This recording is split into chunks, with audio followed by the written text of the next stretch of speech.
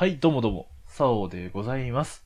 えー、ちょっと青木くんが陰陽師をね、捨てましているところ、まあ、ダイレクトマーケティングですかね。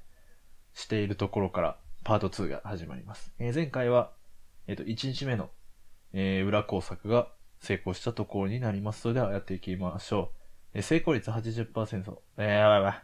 噛みまくり。成功率80%だね。最初めっちゃ、あの、めっちゃ疑われたからね。これで金沢は少し黙るようになっただろう。金沢の疑いは言いがかりレベルだったが、あながちマッチ、いや、いや、全部ま、正解なんだよな。うん。ちょっと主人公のクズ加減はちょっとすごいですね。起床時間になりました。二日目、警察が来るまであと3日。えー、翌朝のリビングには緑赤いすみれの俺の4人が居合わせていた。話題が白焼きになってしまうのも当然な流れ、自然な流れだった。昨日金沢からは疑惑の目をそらすことに成功した俺は、このまま警察すらも、いや、お前すごいね。自信に溢れてるけど絶対無理だから。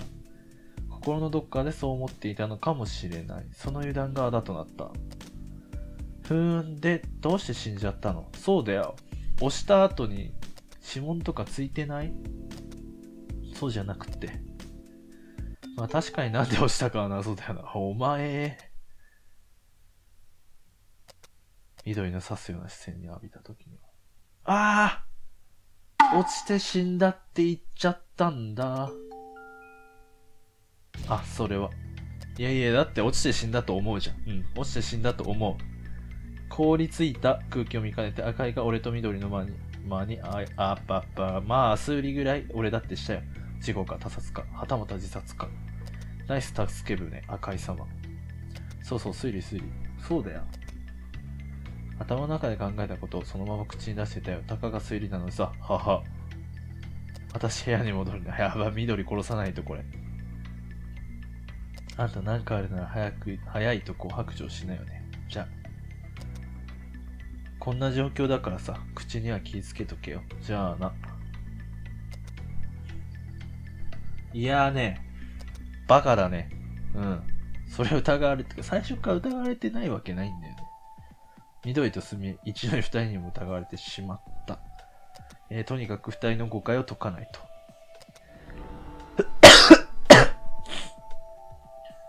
順調です。それではやっていきます。和室あー、しょべろれる。なんだろう、くしゃくしゃの紙がある。開けてみよう。最速、最告所。実物は、お、緑？当て緑だ。1000万の借金を抱えている文女。どんな金の使い方をしているんだと。はい。和室には定番の掛け軸だ。え裏にスイッチが隠されていたり、えーしなかった。うん。ちょっと微妙な逆かな、それは。はい、トイレ。何もない。バスルーム。お、しょびろいるね。何か落ち、あ、爪やね、これね。デコってある。つけ爪。つけると攻撃力が上がりそうな。しょ、寒い、その寒いやつはいいわ。お風呂が広いとテンション上がるよね。あー、それだけかい。キッチン。いろんな飲み物が入っている。うん、そんだけか。で、リビングはさっきのところだから何もなしと。いい。白焼の部屋。あー、中に死体がいるからね。バルコニーには何もない。すみれと直接対決は避けたいな、今。まあ、とりあえず緑はゆすれるからもう、マジで。とりあえず青木に話聞こう。青木は忙しいみたいだ。金沢はもう俺の味方。白木の写真を整理しようと思う。やばいな、こいつ。振り切ったか、そっちに。さあ、緑をゆすりましょうか。よう、緑。緑、白雪が落ちて死んだのかもっていうのは本当にただの思いつきなんだ。割と推理部、推理物とか好きでさ、何もやましいことがないなら言い訳する必要もないと思うよ。うるせえな、こいつマジで。バカな金沢ほどよほど手強そう。出て行って。追い出されたすみれの部屋あー、もうつけまなくした。たるい。あ、あのさ、さっきのことだけど、つけまつけま、お前キャリーパンパム、やばいやばいやばいやばい噛んだ。あの、ちょっとあんたそこ足どけてポーチ踏まないでよ。最悪。まあごめん。大事なものを床に置いとくね。わかったなら出てく。すいません。話を聞いてくれそうにもないなと。うん。積んでない？え？どうするよ？爪、あ、一個なんか取り逃がしてるわ。手羽のかけ裏にせうんそうだよな。最速所と、え、トイレなんかあった？何もない。あの、ポッキュンポッキュンやるやつしかない。えー。キッチンは？この中か？そうだよね。飲み物入っているってだけだった。リビング。もう何もない。ちょっと待てよ。白雪の部屋は入れないんでね。で、バルコニーは何もなくて、赤いと話してねえわ。犯人扱いで静止できづらい。緑、白木の死でショックを受けてたし、カビになってるならあんまり気にすんねん。緑の誤解を解きたいんだけどさ。ん今はそっとしとけよ。だって話したくないからあいつ部屋に戻ったんだろう。もっともだ。それよりも誤解を解くのはスミレだ。スミレって口軽いし、青木に何でも話せそうじゃん。赤いみたいに青木や金沢が信じてくれるとは限らない。赤い。んそうだ、いいこと教えてやるよ。スミレが尽くしてる男がタイプって、尽くしてくれる男がタイプって言ってたよ。は、俺は別にスミレと付きたいわけじゃん。付き合い、付きたいってなんだよ、お前。ああ、あはは。俺は機嫌取れって言ってるんだよ。ただでさえスミレは苦手なんだけど、スミレの機嫌を伺いに行ってみるか。うん。あれでしょ。爪渡せばこいつ、へこへこすんだな。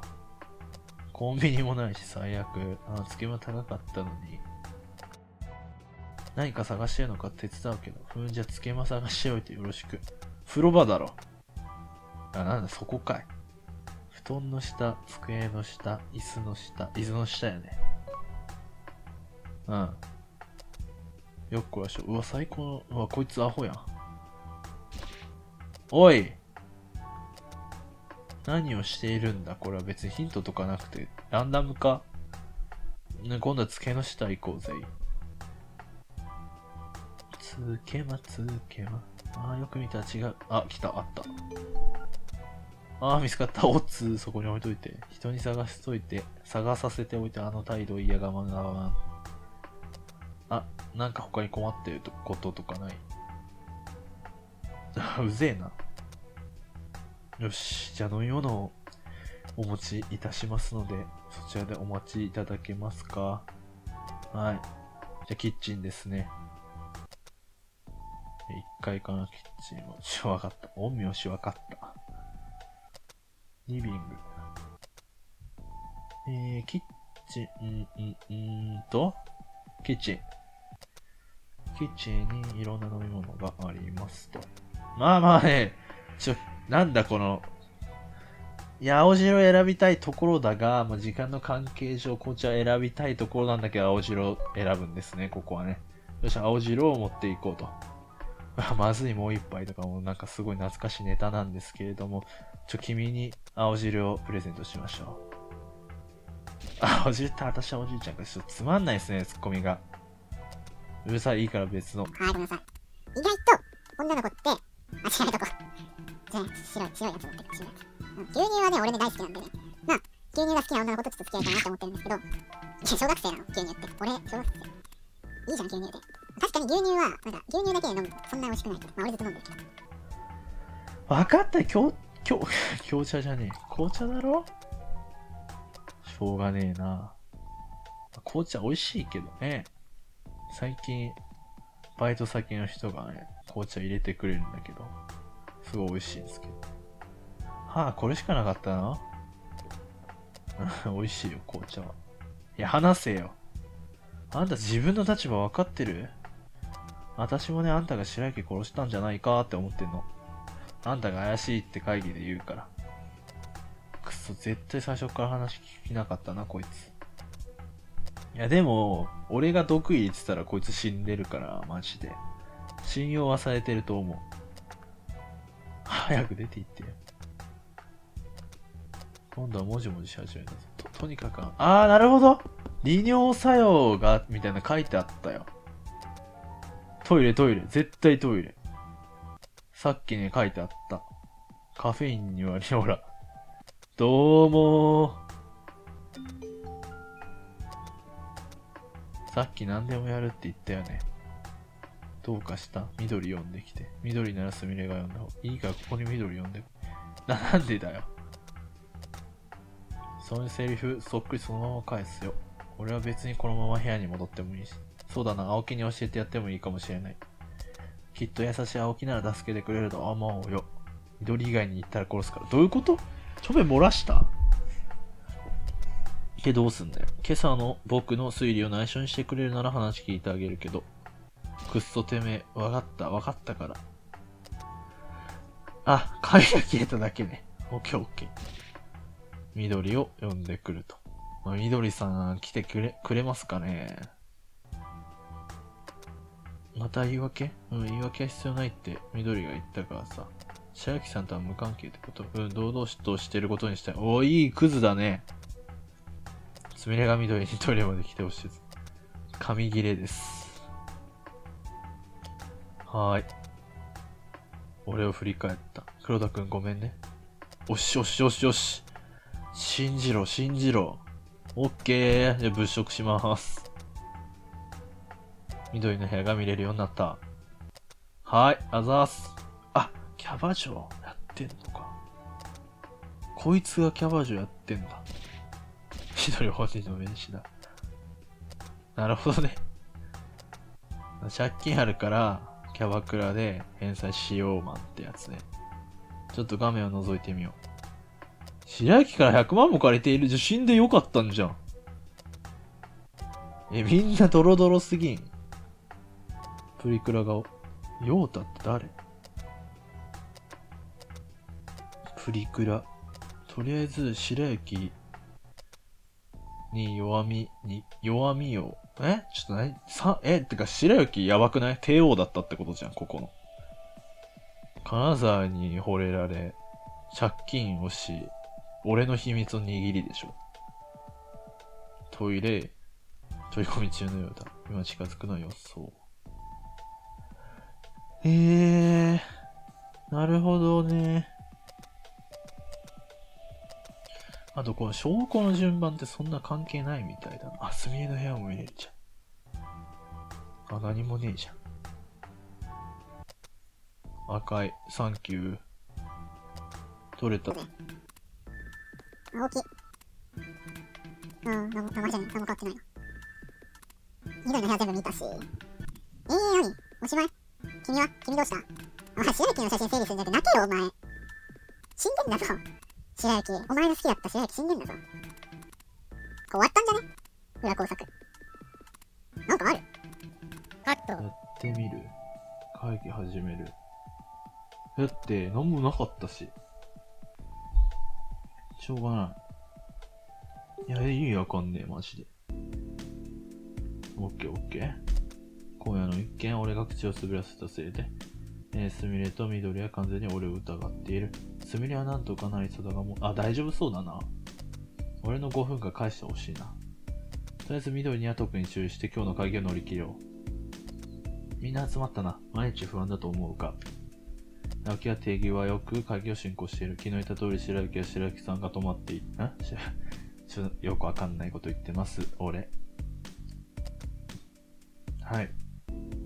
そうだな、雨も降ってるし、白雪さんが亡くなったのってちょうどバルコニーの真下だったよね。ちょっと緑さん？えー白雪さんはバルコニーから落ちて死んだんでしょ？そうなのか？なんでそんなこと知って？黒田、お前さっき、お前なあ。落ち着けそんな時こそ堂々だ。黒田くんが今朝ね、白木さんはどうして落ちたんだって。ねえ、黒田くん、白雪さんは落ちたって言ったよね。はよ。あ、堂々としよう。うん、言ったよ。オッケーオッケーオッケーオッケー。なんで黒田くんは白木さんがバルコニーから落ちたと思ったの？落ちたと思うのは当然でしょ。黒田くんが落としたからそうじゃなくて、みんな白雪が殺されたって言ってるけど、普通に考えたら白雪は事故でしょみんなよく考えてよ。俺は白雪が死んだのは事故だと思ってたんだ。でもそれを殺されたって。緑はそんなに白雪が殺されて欲しかったのか。なるほど。なるほどって俺が言ってることだけど。なんでそんなこと言うの？ひどい。えー、黒田もなかなかひどいこと言うね。おい、黒田言い過ぎだ。緑には白雪が死んで喜ぶ理由なんてないだろう。それがあるんだ。みんなに教えてやろう。俺のターン。緑にとって白雪が殺されてよかったと思う理由を。えーっと。これやね。黙れ。緑。白雪からお金借りてただろう。なんでそんなこと借りた金はもう返したのかお金を借りた相手が死ぬなんてこんな都合いいことはないよ。クズですね。もしかして緑が殺したんじゃ。そんなわけない。当然緑は犯人じゃない。でもさ、こんなおとなしい緑が人を殺すことなんてできるわけないだろ。そうだな。女子同士の付き合いとかあるしさ、そこら辺仕方なくない？むしろそれを指摘する。お前、お前な本当に緑はおとなしい女の子なのか？緑は俺らにかけお前すごいな、黒田。まあ、とりあえず他人を犠牲にしないとやっていけないからね。キャバ嬢の名詞。よしよし、緑のバイトって。おい、それ以上言うな。ふと緑を見ると。ああ、泣かせた。ああ、青木に最低って言われた。ああ、泣かした。折り方しょうが。俺にも言われたわ。ああ、お前、お前らマジかよ。嘘やん。すみれはまだ返してないから。返したっての？緑って。やばいやばいやばいよ。やばいよ。やばいよ。マジ俺。黒田。完全に青いだ。やっちまったよ。誰も味方じゃなくなったね、これで。なかなか寝つけない夜を過ごしていた時緑から呼び出された。おおこれワン、あ、なんでもない。さっきはどうも。怖っさっきはよくも借金のことばらしてくれたわね。それで？どこまで知ってるかなんて知らないけど、お金の貸し借りなんて誰でもすることでしょう。確かによくあることだけど。緑の借金は常識を超えている。1000万ドーン。ゼロパー。確かに普通の額ではないよ。あれあまり動揺してない。分かった、今日のことは謝るよ。犯人と決めつけるのは強引だった。いやー、怖いな、こいつ。なるほど。これ以上緑と関わるとろくなことがなさそうだ。しかしまだ油断はするな。次に何をふっかけてくるか。じゃあ私は部屋に戻るね。ちょ、怖いな、こいつ。罠か。もう何が何だか。私女優の才能あるか。うわ、うぜえ。白状だわ。ああ、なんとかやり過ごした。なんかどっと疲れた。最後はね、緑のことが読めなかった。俺を疑ってたのか疑ってないのか。キャバ嬢が本性なのか、おとなしいのが本性なのか。そもそも会議なきゃ、あれは演技だよ。ああ。お前、あれは演技だよ。よし、成功。まあということで、え2日目も、まあ、難なく成功といきましたね。それではなんか、えっ、とね、5日目まであるみたいなのでね、次回でね、半分いくかなって思うので、はい、またご視聴していただければ幸いです。えーご視聴ありがとうございました。